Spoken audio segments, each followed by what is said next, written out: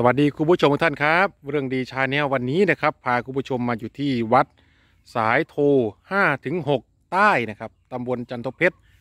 อำเภอบ้านกรวดจังหวัดบุรีรัมย์ครับคุณผู้ชมโอ้โหข้างหน้าผมนี่ต้องเรียกว่า ผมชอบมากนะครับ มาดูแล้วโอ้โหแทบอยากจะได้กอดเลยนะครับ เพราะว่ามันสวยงามจริงๆนะครับแล้วที่สำคัญนะครับ มันเป็นต้นไม้ที่ผมรักด้วยนะครับ นี่แหละครับเป็นหนึ่งในต้นไม้ที่ผมชอบที่สุดนะครับ ที่ผมศึกษาต้นไม้มานะครับ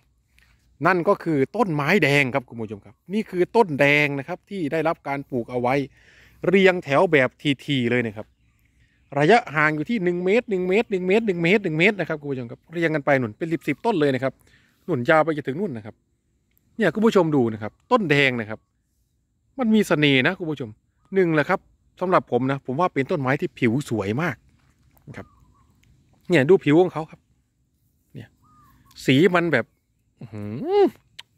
ออกแดงๆอิดๆหน่อยบางช่วงบางตอนเนาะแต่บางช่วงก็ออกเป็นสีขาวๆนะครับ แล้วก็เปลือกบางส่วนก็จะมีการแตกนะครับ แต่แตกก็ไม่ได้แตกแบบ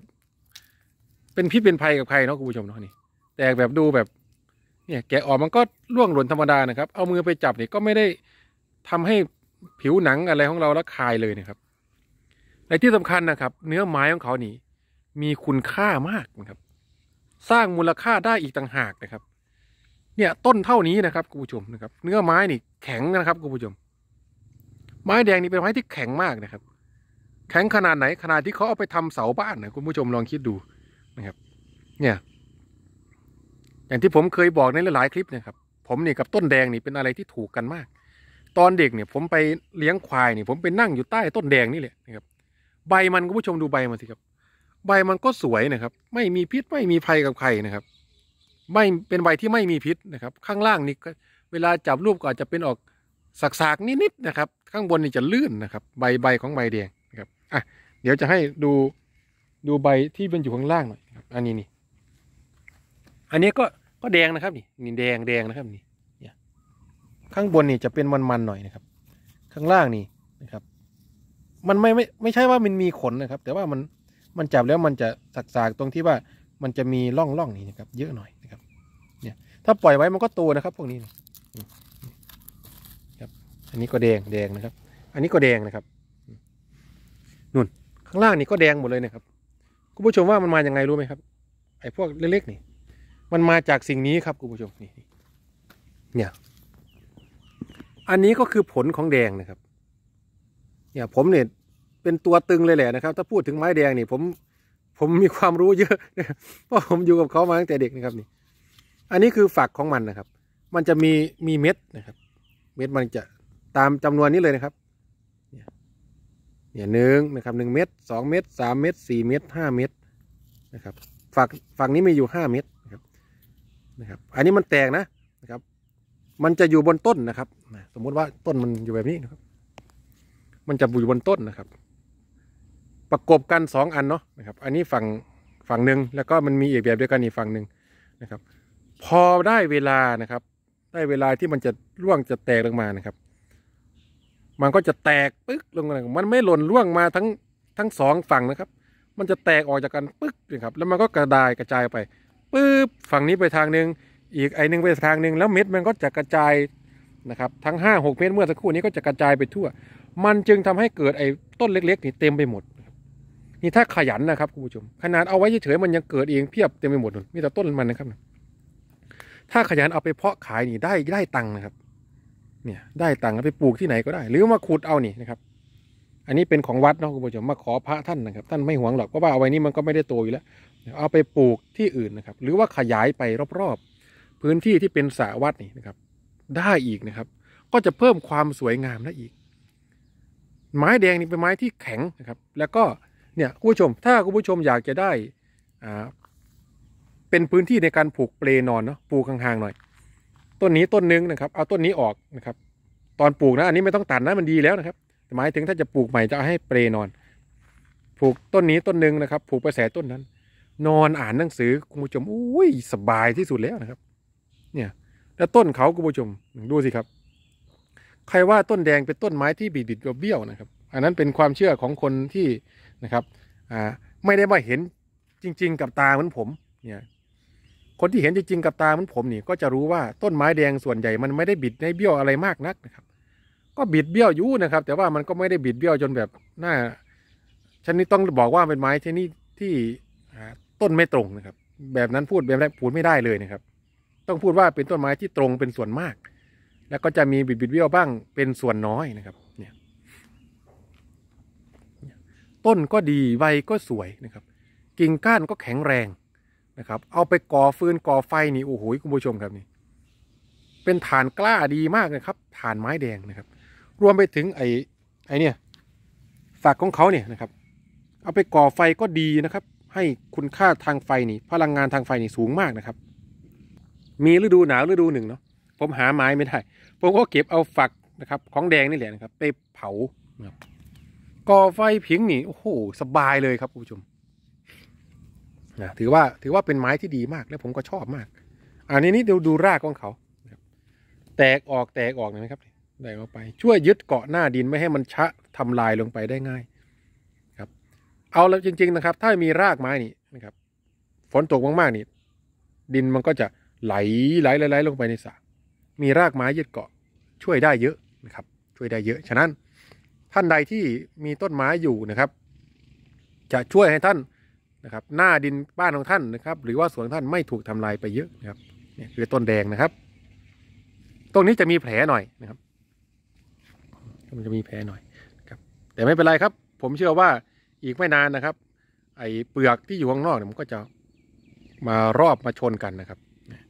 กลายเป็นต้นที่ไม่มีแผลนะครับ แต่ว่าต้นแดงบางที่ที่ผมไปสังเกตดูนะลำต้นเขาแบบนี้เนาะ เขาโตเร็วมากๆนี่เขาก็แตกเลยนะครับ แตกเป็นร่องมาอย่างนี้นะครับ จนเห็นเนื้อภายในครับ อันนั้นก็คือมันมันเกิดจากการเติบโตเร็วมากนะครับ การเติบโตเร็วมากมันทำให้มันแตกนะครับ แต่ว่าเหล่านี้ก็น่าจะเติบโตปกติไม่มีการแตกสักต้นเลยนะครับ ไม่เห็นร่องรอยการแตกนะครับนี่นะครับคุณผู้ชมครับ ถ้าท่านใดอยากจะปลูกต้นแดงนะ ผมอยากจะนำเสนอแนวคิดนะครับ คือต้นเท่านี้นะครับ เราก็สามารถตัดไปใช้งานได้แล้ว ต้นเท่านี้คือเท่าไหนอะวัดให้มือดูกับมือนะครับ ต้นเท่านี้ สมมุติท่านอยากจะทำชิงช้านะครับ ตัดไปใช้ประโยชน์ได้แล้วนะครับ เนื้อไม้มันแข็งนะครับ เนื้อไม้มันแข็งมากไม้แดงนี่ ตัดไปใช้ประโยชน์ได้แล้วต้นเท่านี้ ถ้าให้แนะนำนะครับ ถ้าจะปลูกต้นแดงนี่ให้ปลูกทีๆไว้ก่อน ปลูกนี้เลยครับ แบบนี้เลยหนึ่งเมตรหนึ่งเมตรหนึ่งเมตรหนึ่งเมตร ถึงต้นเท่านี้ก็ตัดสางออกนะครับ ตัดหนึ่งต้นเว้นหนึ่งต้นไว้นะครับ ใช้ประโยชน์ได้นะครับต้นต้นที่มันยังเหลืออยู่ มันก็จะเติบโตเป็นต้นไม้ที่มีคุณภาพนะครับเราจะได้ต้นโตๆใหญ่ ๆ สวยๆเอาไปทำเสาบ้านเสาเรือนได้หมดเลยนะครับก่อสร้างต่างๆนะครับ ไม่ต้องห่วง ดีงามนักแลครับ ต้นแดงนี่เนี่ยสวยงามมาก ๆนะครับเนี่ย อืม ต้นนี้มีง่ามครับคุณผู้ชม จากหนึ่งต้นนี่ก็แตกก็เป็นสองนะครับเนี่ยเห็นไหมครับ ได้ถึงสองต้นเลยนะครับนี่เนี่ยอันนี้ว่าว่าสองต้นในต้นเท่านี้นะครับ ต้นนี้ต้นเดียวนี่ก็เท่ากันนะครับ ต้นเท่ากันเลยเห็นไหมครับ ขนาดมันต้นนี้ออกจะใหญ่กว่าด้วยซ้ำนะครับ ก็ถือว่าได้กำไรนะ ได้กำไรนะครับอู้ต้นนี้สวยมากนะครับ สวยที่สุดเลยตั้งแต่ ตั้งแต่ดูในแถวเหล่านี้มานะครับทำไมว่าสวยหนึ่งมันต้นใหญ่นะครับ ใหญ่กว่าเพื่อน สองครับ มันต้นตรงครับคุณผู้ชม ต้นตรงดูดีมันนุ่น กว่าจะแตกเป็นง่ามก็นุ่นนะครับ ระยะออกไปสักสี่ห้าเมตรเลยนะครับ อันนี้ก็สวยนะนะครับไอ้ที่เป็นคู่นี้นะครับอู้ชอบชอบขอกอดหน่อย ขอกอดขอกอด เนี่ยมีมดแดงด้วยนะครับ มดแดงมาอาศัยอยู่ ต้นแดงมีมดแดงนี่ อันนี้ร่องรอยมีดนะครับ เพราะว่าเป็นพื้นที่วัดเนาะบางที่ก็เอามา จัดการนั่นนี่ก็เอามีดมาฟันไว้ก็ได้ก็แล้วแต่คนเนาะบางคนเขาก็นะครับชอบฟันชอบอะไรเป็นที่ไว้มีดเขานะครับ แต่เอาดีเขาไม่อยากให้ฟันหรอกนะครับ มันจะเป็นแผลกับต้นไม้นะครับเรามาดูต้นต่อไปครับทางนี้ อันนี้เป็นต้นประดู่ป่านะครับคุณผู้ชมต้นประดู่ป่า จะเป็นท่าน้ำของวัดนะครับประดู่ป่าอันนี้น่าจะเกิดเองเนาะอืม ประดูป่าต้นนี้ก็ ก็ยังไม่โตเท่าต้นแดงหรอกนะครับ แต่ว่านี่ครับ ต้นทีนเอนี่นะครับเป็นไม้ราคาแพงมากครับคุณผู้ชมไม้พะยุงครับคุณผู้ชมครับนี่ ไม้ราคาแพงมาก เอาไว้อย่างนี้นะครับนานๆไปขึ้นแก่นนี่โอ้โหราคาดีมากครับ ขายกิโลละหลายตังค์เลยนะครับเนี่ยเปลือกของเขาก็จะออกแบบนี้นะครับ เป็นเซนแบบนี้นะครับ เป็นบิดๆหน่อยนะครับ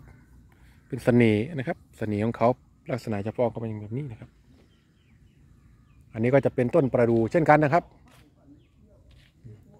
ดูเช่นกัน มีร่องรอยการถากเปลือกมันออกไปด้วยนะครับเนี่ยบางท่านก็เชื่อว่ามันเอาไปย้อมแหได้ก็มาถากเปลือกมันไปย้อมแหก็มีนะครับ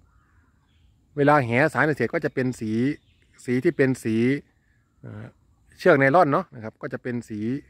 ขาวๆนะครับ เวลาที่เราไปทอดแหนี่ แหเนี่ยก็จะไม่ใช่สีขาวนะครับคุณผู้ชม ก็จะมีการย้อมด้วยเปลือกไม้ต่างๆนะครับ ไม้ประดู่ก็เป็นไม้ที่มียางออกมา เขาก็จะเอาเปลือกมันนี่นะครับ ไปไปย้อมแหนะครับ ผมก็เคยเอาไปนะครับแต่อันนี้โดนโดนตะปูตอกนะครับ ถ้าถอนได้จะช่วยถอนอยู่ไม่อยากให้ใครมาทำร้ายมันนะครับ ถึงเวลาคนไปเลื่อยเนาะนะครับ ถ้าวันหนึ่งต้องเอาไปเลื่อยนี่ก็จะโดนคมเลื่อยก็อันตรายอีกนะครับ มาดูโซนฝั่งนี้นะครับ โอ้ มีควันครับ นี่นี้ก็จะเป็นต้นแดงคู่นะครับ เปลือกต้นนี้จะมีความพิเศษกว่าเพื่อนนะครับ อะ เดี๋ยวจะพาไปดูว่ามันวิเศษกว่าเพื่อนยังไง ลักษณะเปลือกของมันเหมือนกับดินที่อ่าเป็นดินโคลนแล้ววันหนึ่งแห้งแตกระแหงนะครับเออดูไปดูมาก็เหมือนลายของจระเข้ด้วยเนี่ยเนี่ย ครับสีแดงเลยนะครับ นี่แหละครับเขาเรียกว่าต้นแดงมันสีแดงนี้เองนะครับนี่นี่สวยนะครับ แกะออกมานี่สวยนะครับเนียนเลยนะครับ นี่รูปแบบชอบชอบชอบนะครับ แต่จะมีมดอันนี้หน่อยนะครับมดอันนี้กัดเจ็บนะครับนี่นี่สวยนะครับ สวยสวยฝั่งนี้ก็จะมีอีกสองต้นนะครับ ต้นแดง อันนี้ไม่ใช่นะครับ ไม่ใช่ต้นแดง แดงยังมีอีกสองต้นฝั่งนี้นะครับ